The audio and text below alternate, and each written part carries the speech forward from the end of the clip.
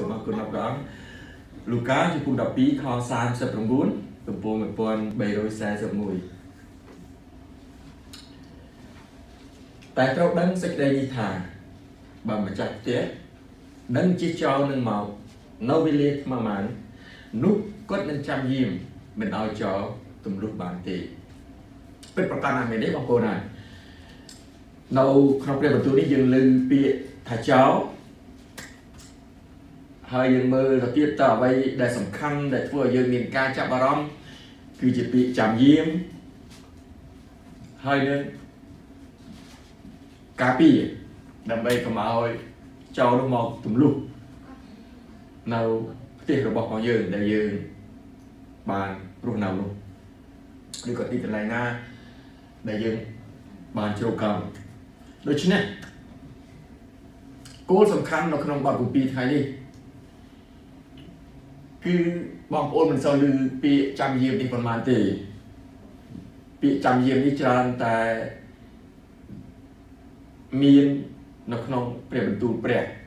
ក្នុងលក្ខណៈធម្មតាយើងឮគេបាននិយាយថា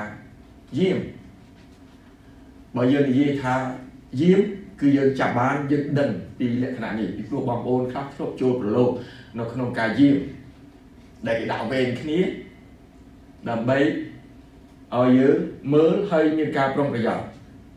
កាលពីខ្ញុំនៅក្មេងៗនៅទូចខ្ញុំអត់ដឹងទេឬពុកម្ដាយខ្ញុំជីដូនខ្ញុំប្រាប់ថាប្រយ័ត្នចោលពេលយប់ឡើងឲ្យបិទទ្វារចូលស្មានតែចោលនោះមានមុខមាត់ផ្សេងខ្ញុំអត់ដឹងថាចោលនោះមុខមាត់ពីម្ដាយក៏គាត់បានប្រាប់គឺធ្វើឲ្យខ្ញុំភ័យខ្លាចចឹងហើយដល់ពេលល្ងាចប្រលប់មិនទាន់ទេគឺខ្ញុំត្រូវមើលទ្វារខាងក្រោយក៏អួចអីគឺខ្ញុំដាក់បិទ ដើម្បីការពារពីព្រោះយើងអត់ដឹងអាអ្នកដែលមានបំណងនឹងមកបំផ្លាញនៅរបស់ដែលយើងមានហើយគេនឹងរួចប្លន់ទេបាទដូច្នេះបានជាព្រះបន្ទូលនេះធ្វើឲ្យខ្ញុំមានការចាប់អារម្មណ៍ចំពោះបងប្អូនដែលដឹងថាចោលគឺយើងដឹងហើយគឺជាមនុស្សដែលមានគំនិតអាក្រក់ដែលជាមនុស្សលួចប្លន់ឬក៏បំផ្លាញនៅអ្វីអ្វីដែលអ្នកដទៃទៀតមាន ហើយមកយករបស់ទៅគេដោយមិនបានចរចាឬក៏សុំគឺមកជំរិតអូសហើយបង្ខំដូច្នេះជាសេចក្តីអាក្រក់បើយើងបកស្រាយនៅក្នុងព្រះបន្ទូលនេះគឺគ្រប់ទាំងសេចក្តីអាក្រក់ដែលយើងបានដឹងតើយើងត្រូវធ្វើដូចម្តេចនៅក្នុងសេចក្តីជំនឿដែលយើងជឿជាមួយនឹងព្រះម្ចាស់នៅក្នុងរូបភាពពិតបើយើងឮដំណឹងថាចោលនឹងមកខ្ញុំជឿថាបងប្អូនប្រកាសជា យកចិត្តទុកដាក់ហើយប្រុងប្រយ័ត្នព្រមទាំងចាំយាដើម្បីអ្វីគឺដើម្បីការពារកុំឲ្យចោលនោះមកយករបស់យើងដោយងាយងាយមកយកដោយស្រួលគឺយើងនឹងមានការតតាំងជាមួយនឹងគ្នានៅការដែលយើងចាំយាមនេះដូច្នេះសំខាន់ណាស់នៅក្នុងព្រះ ក៏ដូចគ្នាដែរដែលយើងជឿចំពោះព្រះម្ចាស់ដែលព្រះបន្ទូលបានបើកសម្ដែងឲ្យយើងយល់ពីពាក្យចាំយាមនេះបាទចាំយាមគឺខុសពីដេកយាមដំបូងចាំយាមដល់រួចពីចាំយាមនឹងគ្នាដេកយាមទាំងអស់បាទភាកច្រើនយើងអស់កម្លាំងយាមបានក្បាលល្ងាទីទេបងប្អូនណាតែយប់ច្រើនតិចដេកតែទាំងអស់គ្នានៅនេះដេកដូច្នេះហើយការដែលយើងអត់មានការប្រុងប្រៀបយ៉ាងដូចម្ដេច បើយើងដេកយាមនោះយើងនឹងជួបនៅគ្រោះថ្នាក់នៅបញ្ហាដែលនឹងត្រូវមកប៉ះពីព្រោះយើងអត់ដឹងការចាំយាមនេះគឺជាការដែលយើងប្រុងប្រៀបប្រុងប្រយ័ត្នការពារហើយនឹងតតាំងដូច្នេះបើម្ចាស់ផ្ទះបានដឹងថាជាចោរនឹងមកនោះគាត់ប្រកាសជាប្រុងប្រយ័ត្នជាមិនខានដូច្នេះតើ ព្រះបន្ទូលនេះចង់និយាយពីអ្វីចំពោះអ្នកដែលជឿព្រះតើយើងចាំយាមយ៉ាងដូចម្ដេចនៅក្នុងផ្ទះរបស់យើងយើងត្រូវធ្វើដូចម្ដេចបងប្អូនហើយការចាំយាមនេះជាជំនួយមួយនៅក្នុងសេចក្តីជំនឿដែលយើងជឿចំពោះព្រះយើងមិនមែនតតាំងនៅក្នុងកម្លាំងបាយនៅក្នុងមៀតដែលយើងថាយើងមានកម្លាំងគ្រប់គ្រាន់អាចតតាំងបាន គឺមិនមែនដូច្នោះទេនៅក្នុងព្រះគឺយើងតតាំងនៅក្នុងផ្នែកវិញ្ញាណយើងតតាំងនៅក្នុងសេចក្តីជំនឿហើយនេះហើយបានជាសេចក្តីចាំយាមនេះគឺសំខាន់ណាស់សម្រាប់អ្នកដែលជឿព្រះប៉ុន្តែភាគច្រើនយើងអត់ប្រុងប្រយ័ត្នទេ គឺយើងធ្វើប្រហែសរហូតដល់ពេលដែលយើងអធិដ្ឋានក៏យើងធ្វើឲ្យតែ ខ្មែរយើងហៅថាជាប្រគ្រប់គឺយើងធ្វើទៅតាមអ្វីដែលយើងគិតថាយើងមានពេលតែបន្តិចអត់មានពេលអីច្រើនទិដ្ឋានឲ្យតែបានហើយចុះបើថាចូលដំណេកវិញតែក្បាលដល់ខ្នើយហើយជួនកាលអត់ទៅអង្គុយអធិដ្ឋានផងគេងប្រឡំប្រឡំអធិដ្ឋានទៅរូបព្រះអង្គនោះហើយជាការដែលយើងធ្វើមិនបានពេញលក្ខណៈ ពីព្រោះការដែលចាំយាមនេះគឺជាការមួយដែលបងប្អូនមានស្មារតីខ្ពស់ស្មារតីខ្ពស់បានសេចក្តីថាបងប្អូនបានប្រមូលចិត្តគំនិតអារម្មណ៍របស់ផងយើងគឺផ្ចង់ទៅចំពោះព្រះដើម្បីសូមកម្លាំងសូមជំនួយពីព្រះអង្គឲ្យព្រះម្ចាស់ជួយតតាំងនៅក្នុងផ្នែកវិញ្ញាណដែលយើងដឹងថាសេចក្តីអាក្រក់នឹងត្រឹមមកប៉ះពីហេតុការណ៍ណាមួយដែលបងប្អូនដឹងថាខ្ញុំមិនអាចតតាំងបានទេ ដូច្នេះខ្ញុំត្រូវតែចាំយាមដើម្បីកុំឲ្យការអាក្រក់នេះមកប៉ះពាល់ធ្វើឲ្យខ្ញុំមានការខូចខាតច្រើនអាមែនការដែលយើងចាំយាមនេះគឺដើម្បីយើងតតាំងតតាំងនៅក្នុងសេចក្តីជំនឿតតាំងនៅក្នុងព្រះបន្ទូលនៃព្រះដែលបងប្អូនទាំងអស់គ្នាបានថៅគ្នាដើម្បីជួយជាកម្លាំងថែមទៀតជួនកាលយើងអធិដ្ឋានម្នាក់ឯងអត់ឈ្នះ ចឹងហើយបានជាការចាំយាមនៅក្នុងពេលសប្តាហ៍នេះឃើញមានអត្តពលល្អមែនទេដែលយើងមានប្រព័ន្ធអ៊ីនធឺណិតបងប្អូនស្រុកខ្មែរបានចូលរួមជាមួយនឹងយើងបានអធិដ្ឋានជាមួយនឹងយើងឃើញថាសេចក្តីអស្ចារ្យជាច្រើនបានកើតឡើងហើយព្រះបន្ទូលព្រះក៏បានចម្រើនទៅដល់អ្នកដែលអធិដ្ឋានចាំយាមនេះដែរអាមែនដូច្នេះជាលក្ខណៈមួយដែលយើងយកចិត្តទុកដាក់ហើយប្រុងប្រយ័ត្នជាការមួយដែលព្រះបន្ទូលបានលើកមកគឺសម្រាប់ឲ្យយើងដែលជាម្ចាស់យើងត្រូវដឹង ពីហេតុការណ៍ដែលនឹងត្រូវមកប៉ះគឺបងប្អូនយើងដឹងយើងជឿព្រះអង្គសប្តាហ៍នេះព្រះអង្គម្ចាស់ឲ្យយើងដឹងជាមុនការងារខ្លះដែលយើងត្រូវតែចាំយាមដើម្បីអ្វីដើម្បីឲ្យការអាក្រក់នោះបានបរាជ័យដោយសារព្រះជាស្ដារបស់ផងព្រះម្ចាស់ដែលព្រះម្ចាស់តតាំងជំនួសយើងដែលយើងស្រែករកនាមព្រះអង្គដែលព្រះម្ចាស់អាចជួយយើងបាន បងប្អូនយើងមានការពិសោធន៍ហើយក៏ប៉ុន្តែយើងមិនទាន់យល់ដល់ពីជម្រៅនៃការចាំយាមនេះដូច្នេះការចាំយាមគឺជាស្មារតីខ្ពង់ខ្ពស់ប្រុងប្រយ័ត្នហើយទុកចិត្តចំពោះព្រះបន្ទូលនៃសេចក្តីសន្យាដែលព្រះម្ចាស់ទ្រង់តតាំងជំនួសយើងដូច្នេះយើងតតាំងអត់ឈ្នះវាទេពីព្រោះយើងដែលជាមនុស្សមានបាបចិត្តយើងតែងតែរវើរវីចឹងហើយបានជាយើងសូមព្រះម្ចាស់ ឲ្យព្រះម្ចាស់ជួយយើងនៅពេលដែលព្រះម្ចាស់ជួយគឺព្រះម្ចាស់ចាត់ទេវតាទេវតានៃព្រះគឺតតាំងជំនួសយើងដែលយើងហៅថាទេវទេវតាម៉ៃកូបាទមីកែជាទេវតាចម្បាំងទេវតានោះឯងដែលដេញគ្រប់ទាំងអំណាចអាក្រក់ដែលច្បាំងសម្រាប់ជំនួសដល់កូនព្រះម្ចាស់ឲ្យមានជ័យជំនះដូច្នេះនេះជាសេចក្តីសង្ឃឹមនៅក្នុងការដែលយើងឃើញព្រះបន្ទូលនៅថ្ងៃនេះហើយយើងនឹងរៀនជាមួយនឹងគ្នា ថាតើការចាំយាមនោះមានលក្ខណៈដូចម្ដេចគឺជាការដែលយើងយកចិត្តទុកដាក់ប្រុងប្រយ័ត្នមានស្មារតីនឹងណូរំពឹងចាំមើលហេតុការអាក្រក់ឬសេចក្តីអ្វីដែលយើងសង្ស័យបានកើតឡើងនោះផ្ដល់ពរដ៏មាននិងដំណឹងហើយរាយការណ៍ជាមុនឬក៏ត្រូវតតាំងជាមួយសេចក្តីអាក្រក់នោះដូច្នេះយើងដឹងគេថាបងប្អូនចាំយាមបងប្អូនដឹង ដឹងហើយបងប្អូនប្រាប់យើងប្រាប់ទៅដល់អ្នកដតីប្រាប់អ្នកដែលនៅក្បែរក្បែរយើងឲ្យជួយឲ្យដឹងថាការនេះនឹងត្រូវមកដល់ហើយយើងត្រូវតែអធិដ្ឋានរកព្រះអាមែនដើម្បីឲ្យព្រះម្ចាស់ជួយតតាំងចំពោះសេចក្តីដ៏អាក្រក់ដ៏ធំនេះដែលយើងមិនអាចទប់បានចឹងហើយបានសេចក្តីថាយើងជាអ្នកនាំដំណឹងផ្ដល់ពើដ៏មានឬក៏រាយការណ៍សម្រាប់ឲ្យទៅដល់អ្នកជំនួយ ដែលជួយក្នុងកិច្ចការងាររបស់ផងព្រះម្ចាស់ថែមទៀតដើម្បីឲ្យសេចក្តីអាក្រក់នេះបានត្រូវទទួលការបរាជ័យកុំឲ្យវាមានអំណាចកុំឲ្យវាមកយករបស់អ្វីដែលយើងមានងាយងាយស្រួលដែលយើងខំរក្សាដែលយើងខំប្រឹងធ្វើការឡើងងឿយហត់ហើយយើងមកបំផ្លាញយើងដូច្នេះហើយបានសេចក្តីថាពាក្យព្រះបន្ទូលថ្ងៃនេះយើងឮថាចាំយាមគឺសំខាន់ណាស់ដូច្នេះបងប្អូនយើងចាំយាមយ៉ាងដូចម្ដេច គឺយើងមិនមែនអង្គុយអង្គុយនៅបិទទ្វារចាំទេណាបងប្អូនហើយកុំឲ្យគឺថាឲ្យចាំយាមអង្គុយនៅបិទទ្វារអង្គុយចាំមើលអ្នកណាមកមកបើកទ្វារមិនមែនចឹងទេគឺការដែលយើងចាំយាមនេះព្រះបន្ទូលព្រះបានបើកសម្ដែងឲ្យយើងយ៉ាងច្បាស់ដែលបទគម្ពីរបានបើកសម្ដែងឲ្យយើងដឹងថាចាំយាមអធិដ្ឋានមិនចាំយាមយើងអង្គុយទៅយាមដូចយើងយាម នៅកន្លែងសាលាទឹកសាលាឆាន់អីនោះទាំងបានសេចក្តីថាយើងមិនបានចាប់អារម្មណ៍យើងមិនបានយកចិត្តទុកដាក់អត់ប្រុងប្រយ័ត្នទេចាំការនោះវាខូចឆ្លោះឆ្លួយទៅហើយបានយើងចាប់ដើមការពារគឺពិបាកចឹងហើយដូចគ្នាជំងឺក៏ដូចគ្នាដែរបើបងប្អូនប្រុងប្រយ័ត្នជាមុនវាល្អជាជាងឈឺហើយបានយើងទៅព្យាបាលអាមែនដូច្នេះជាកិច្ចការងារមួយដែលព្រះម្ចាស់ឲ្យយើងដឹងយើងដែលជឿព្រះ គឺបងប្អូនត្រូវចាំយាមកុំឲ្យខូចខាតហើយបាទយើងត្រូវចាំយាមវាខូចបានទៅហើយដូច្នេះយើងចាំយាមមុនដើម្បីឲ្យយើងកុំឲ្យធ្លាក់ទៅក្នុងការដែលខូចខាតដែលព្រះអាចជួយយើងបាន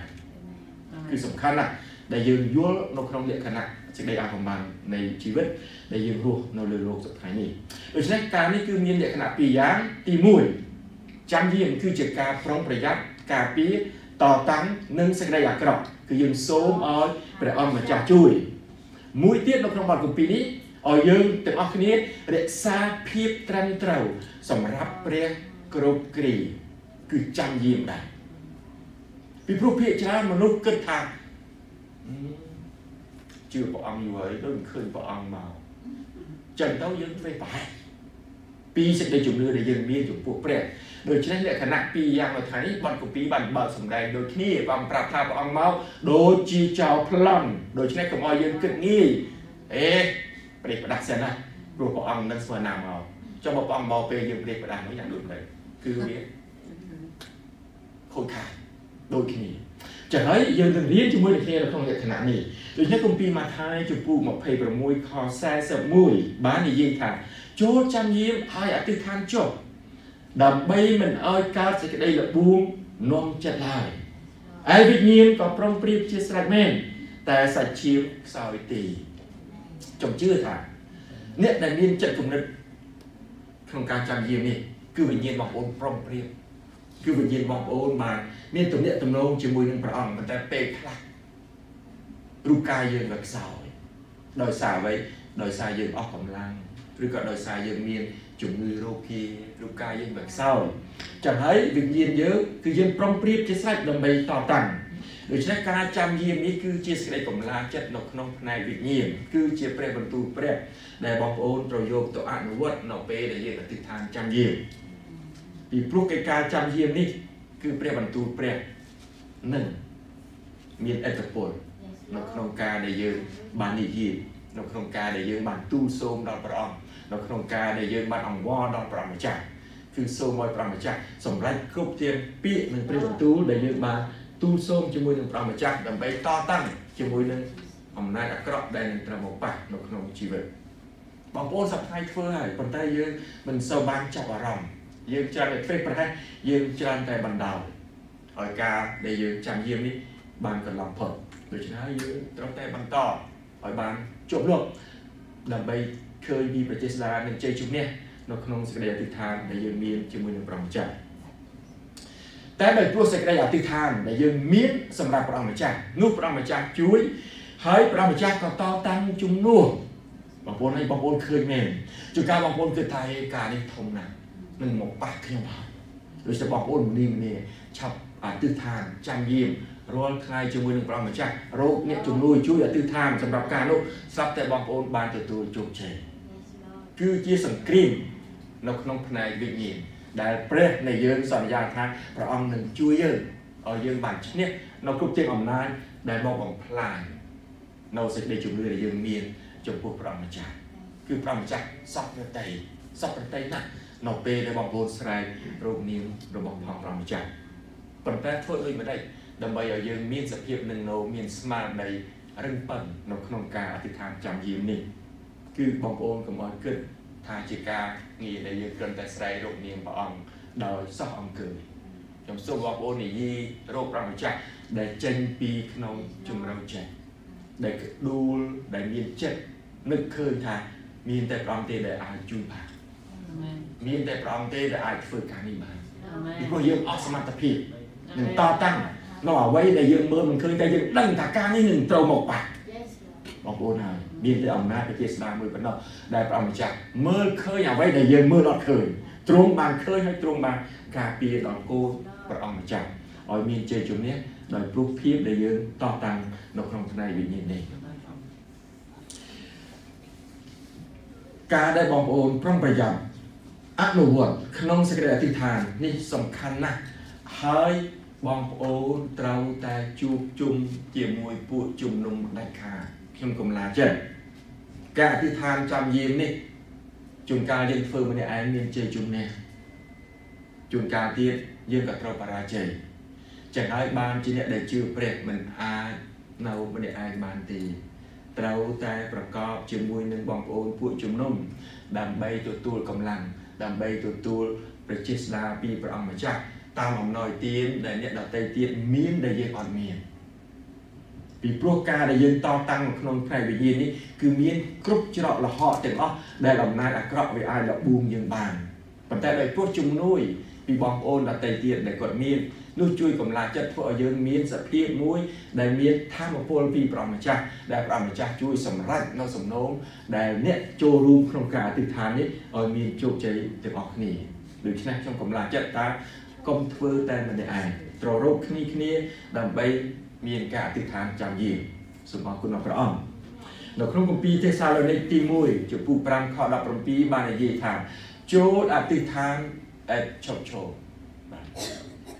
ចាំយាមហើយអធិដ្ឋានចូលអធិដ្ឋានឥតឈប់ឈរអធិដ្ឋានឥតឈប់ឈរនេះគឺខុសពីការអធិដ្ឋានចាំយាមបន្តិចការចាំយាមគឺជាពេលដែលយើងកំណត់ ជួបជុំគ្នាដើម្បីធ្វើការអធិដ្ឋានអធិដ្ឋានឥតឈប់ឈរនេះមានន័យថាគឺបងប្អូនអត់បណ្តែតបណ្ដោយទេបងប្អូនអធិដ្ឋានគ្រប់គ្រាគ្រប់វេលាណាដែលបងប្អូនដឹងថាហេតុការណ៍អ្វីដែលត្រូវមកបាត់គឺបងប្អូនអធិដ្ឋានជានិច្ចនៅក្នុងដង្ហើមដែលបងប្អូនកំពុងតែដកចេញចូលនេះជាសេចក្តីកម្លាំងចិត្តនៅក្នុងផ្នែកវិញ្ញាណដើម្បីឲ្យយើងអាចតតាំង ជាមួយនឹងអំណាចអាក្រក់អំណាចដែលមកបំផ្លាញជីវិតដែលយើងមានសេចក្តីប្រកបជាមួយនឹងព្រះអង្គម្ចាស់ដូច្នេះបងប្អូនដឹងហើយពាក្យដែលថាចោលគឺគោលបំណងតែមួយ ដែលវាមកដើម្បីអ្វីលួចបំផ្លាញកាប់សម្លាប់នេះជាបំណងរបស់ចោលដូច្នេះហើយអំណាចអាក្រក់ដែលវាមកបំផ្លាញយើងក៏ដូចគ្នាដែរ គឺវាមកធ្វើឲ្យយើងត្រូវទទួលសេចក្តីបរាជ័យនៅក្នុងសេចក្តីជំនឿគឺវាមកអូសទាញវាមកបន្លំវាមកធ្វើឲ្យយើងបំពេញចេញពីសេចក្តីជំនឿដែលយើងមានចំពោះព្រះម្ចាស់នេះជាសេចក្តីតតាំងនៅក្នុងវិញ្ញាណគឺក្នុងសេចក្តីជំនឿដែលបងប្អូនជឿជាក់ពិតប្រាកដថា នៅពេលដែលយើងស្គាល់ព្រះម្ចាស់កាន់តែច្បាស់ឡើងគឺយើងត្រូវតែមានការអធិដ្ឋាននេះឲ្យបានរឹងប៉ឹងចំពោះព្រះម្ចាស់ជានិច្ច នេះជាលក្ខណៈដំបូងដែលយើងត្រូវអនុវត្តដើម្បីយើងតតាំងជាមួយនឹងអំណាចអាក្រក់ដូច្នេះមួយទៀតការចាំយាមដូចគ្នាដែរគឺជាការមួយដែលយើងត្រូវរក្សាភាពដ៏ល្អត្រឹមត្រូវនៅក្នុងសេចក្តីជំនឿឲ្យបានគ្រប់ពេលវេលាកុំឲ្យបណ្ដែតបណ្ដោយឬក៏កុំឲ្យគិតថាមិនអីទេ ដូច្នេះគម្ពីរវិវរណៈចំពោះ16ខ15បាននិយាយថាមើលអញមកដូចជាចោរប្លន់មានពោហើយអ្នកណាដែលនៅចាំហើយរក្សាសម្លៀកបំពាក់ខ្លួន ដើម្បីមិនឲ្យដើរអាក្រាតឲ្យអ្នកណាឃើញគេខ្មាស់ខ្លួនឡើយអាមែនបងប្អូនហើយពីរយ៉ាងនៅក្នុងថ្ងៃនេះការអធិដ្ឋានចាំយាមមួយ គឺជាសេចក្តីការពារសេចក្តីតតាំង សូមអំណាចប្រជាស្ដាពីព្រះអង្គឲ្យព្រះម្ចាស់ជួយនេះលក្ខណៈមួយទៀតគឺយើងរក្សារក្សាភាពសមរម្យរក្សាភាពត្រឹមត្រូវក្នុងសេចក្តីជំនឿជាមួយនឹងព្រះគ្រប់ពេលគឺមិនបណ្ដោយទៅតាមកលៈទេសៈឡើយគឺយើងនៅរក្សាភាពនេះដដែលពីព្រោះព្រះនៃយើងបានសន្យាថាទ្រង់នឹងយាងត្រឡប់មកវិញអាមែន រឿងដែលយើងចាំយាមព្រោះអ្វីព្រោះយើងអត់ដឹងពេលហើយព្រះម្ចាស់ប្រាប់ថាអញមកដូចជាចោប្លន់មែនទេបងប្អូនណាចោដែលប្លន់អត់ប្រាប់យើងឲ្យយើងដឹងទេដូច្នេះបើយើងអត់ប្រុងប្រយ័ត្នយើងមិនត្រូវខូចខាតតែបើយើងប្រុងប្រយ័ត្នរាល់ថ្ងៃវានឹងពិបាកនឹងមកយករបស់ទ្រព្យយើងហើយពីព្រោះវាខ្លាចយើងដែរដូច្នេះពីព្រោះយើងមានការចាំយាមដូច្នេះលក្ខណៈដែលសំខាន់ដែលព្រះបន្ទូលនេះបានបើកសម្ដែងថ្ងៃនេះមនុស្សភាគច្រើន មានការចាំយាមល្អមែននៅក្នុងសេចក្តីការពារនៅក្នុងសេចក្តីតវ៉ាតតាំងជាមួយនឹងអំណាចអាក្រក់ក៏ប៉ុន្តែធ្វេសប្រហែសនៅពេលវេលាដែលព្រះអង្គម្ចាស់ទ្រង់នឹងយាងមកគឺយើងគិតថាអូយូរណាស់ព្រះអង្គមិនដឹងស្មានណាមកទេដូច្នេះយើងក៏ប្រឡូកជាមួយនឹងលោកី ធ្វើឲ្យយើងមានបន្ទុកបញ្ហាប៉ុន្តែនៅក្នុងបទគម្ពីរនេះមិនបាននិយាយចំនៅក្នុងលក្ខណៈនោះទេគ្រាន់តែប្រាប់ឲ្យយើងដឹងថាបើយើងជាអ្នកដែលត្រឹមត្រូវគឺយើងរក្សាសម្លៀកបំពាក់ខ្លួនដូច្នេះអ្នកដែលមិនត្រឹមត្រូវយ៉ាងដូចម្ដេចគឺគេអក្រាតអក្រាតបានសេចក្តីថាគេអត់ខ្វល់ពីដំណើរជីវិតដែលគេបានមើលងាយដែលគេបានតេះដៀលនៅក្នុងសេចក្តីជំនឿដែលយើងធ្វើខុស ជាមួយនឹងព្រះអង្គម្ចាស់គឺគេធ្វើជាលក្ខណៈធម្មតាគេគិតថាគេអត់អីទេគឺគេបានរស់តាមរបៀបលោកីវិញនេះហើយជាការដែលយើងដើរអាក្រាតការដើរអាក្រាតគឺគេឃើញអ្វីគឺគេខ្មាស់មនុស្សយើងគឺសំខាន់នៅលើគេខ្មាស់បើយើងអត់មានខោអាវស្លៀកពាក់តើយើងជាមនុស្សយ៉ាងដូចម្ដេចបងប្អូនអាចសន្និដ្ឋានអាចថាបានមែនទេ តែបទគម្ពីរនេះបានបើកសម្ដែងគឺយើងអាចថាអ្នកនោះអត់សមរម្យទេបើអ្នកនោះអត់ស្លៀកពាក់ខោអាវអញ្ចឹងមិនសមរម្យទេយើងអាចនិយាយថាមិនមែនមនុស្សធម្មតាទេយើងហៅថាជាមនុស្សយ៉ាងដូចម្ដេចយើងហៅថាមនុស្សឈួតមែនទេពីព្រោះមនុស្សអត់ឈួតគេមិនធ្វើអញ្ចឹងទេគឺអ្នកនឹងឈួតហើយខូចសតិខូចស្មារតីអស់ហើយបានជាអាក្រាតដូច្នោះ ដូច្នេះគោលសំខាន់ដែលព្រះបន្ទូលបានបើកសម្ដែងជាសេចក្តីប្រៀបធៀបអ្នកដែលរក្សាតម្លៃភាពសមរម្យនៅក្នុងព្រះភាពដែលត្រឹមត្រូវនៅក្នុងព្រះមិនគិតថាយូរឬក៏ឆាប់ទេគឺអ្នកនោះរក្សាអត្តភាពខ្លួនជាមួយនឹងព្រះអ្នកនោះឯងដែលព្រះយាងមកនឹងបានជួបជាមួយនឹងព្រះម្ចាស់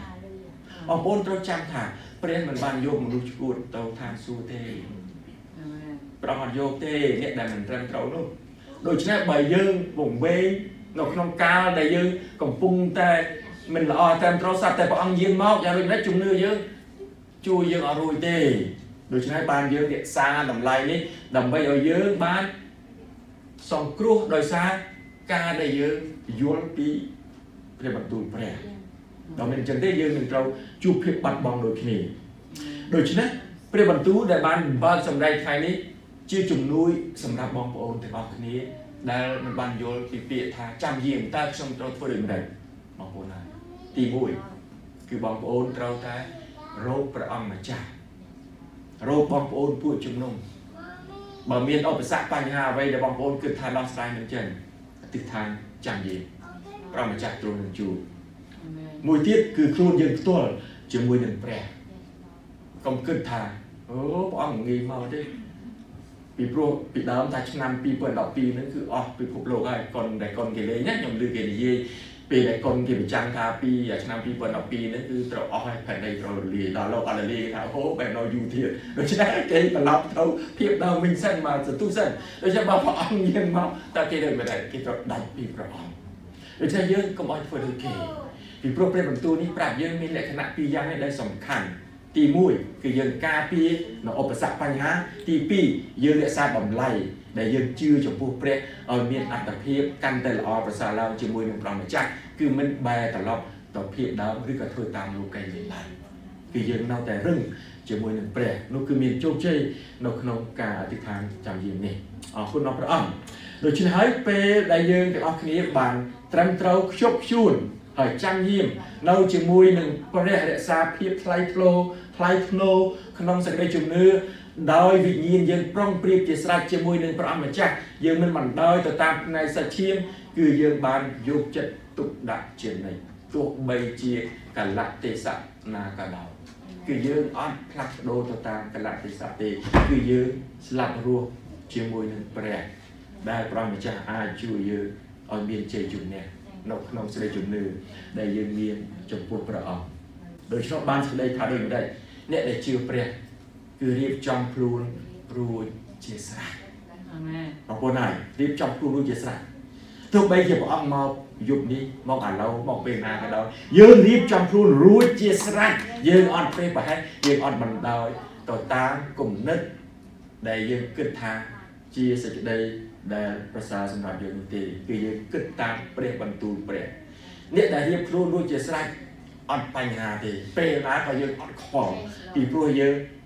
ស្មោះត្រង់ជាមួយនឹងព្រះម្ចាស់ហើយយើងរក្សាតម្លៃនៃសេចក្តីជំនឿនេះឲ្យបានកាន់តែល្អឡើងគឺជាការអធិដ្ឋាន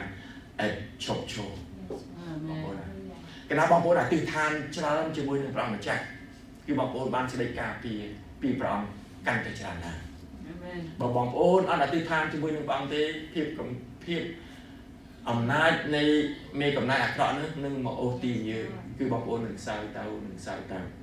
អ្នកណាដែលអធិដ្ឋានច្រើនអ្នកនឹងចម្រើននៅក្នុងសេចក្តីជំនឿជាមួយនឹងព្រះ